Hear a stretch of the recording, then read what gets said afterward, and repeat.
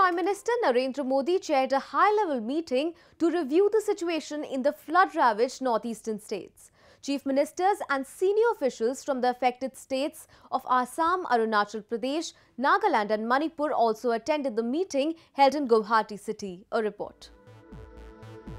Prime Minister Narendra Modi chaired a high-level meeting in Guwahati to take stock of the flood situation in India's northeastern states at Assam Administrative Staff College, Khanapara. The meeting was also attended by senior administrative officials and chief ministers of the concerned states which included Assam, Arunachal Pradesh, Manipur and Nagaland. His visit to Assam is pronounced as one of the first where various central government agencies carried out studies of damage caused by recent floods in the region. Modi announced a special package of rupees 2000 crore for the relief and rehabilitation of flood affected people and for flood mitigation measures in the states which are inundated every year. Moreover, Assam received an additional amount of rupees 250 crore for immediate rehabilitation. An international committee will also be set up to study the Brahmaputra river to improve its water holding capacity to help prevent the annual floods. The centre had also released rupees 300 crore in June for Assam to repair the damaged infrastructure in the floods. Flood management and damage control measures were discussed in the meeting.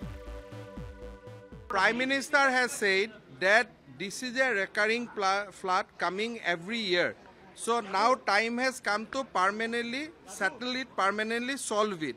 That is why he has said that a high power group with uh, scientists, technologists, engineers, bureaucrats will be constituted. And that group will be uh, initially a corpus of rupees 100 crore will be given to that group so that they can study the course of the Brahmaputra river and suggest remedial measure so that flood problem can ultimately permanently solve.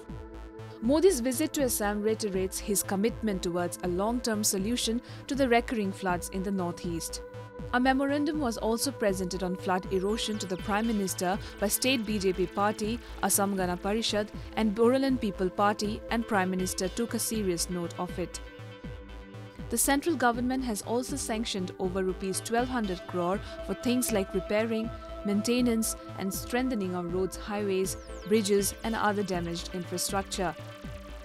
PM साहब, यहाँ पे खास करके north east में जो जितने भी जो डिस्ट्रक्शन हुआ है, उसको रिव्यू करने के लिए यहाँ पे आए हुए हैं और सभी स्टेट्स के साथ में चीफ मिनिस्टर और जितने भी जो ऑफिसर्स के साथ में बैठ के इंटरेक्शन अभी ये हुआ जा रहा है।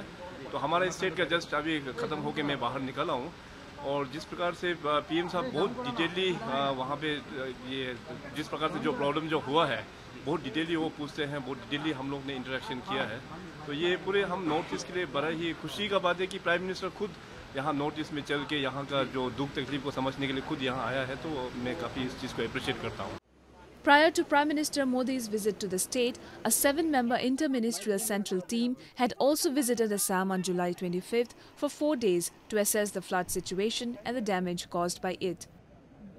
Modi also announced an ex gratia of rupees 2 lakh each for the families of those killed and rupees 50,000 each of those injured in Assam floods.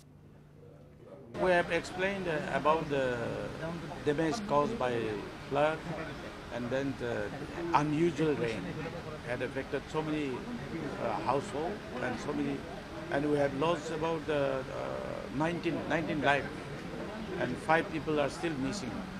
So this is really unusual for Nagaland.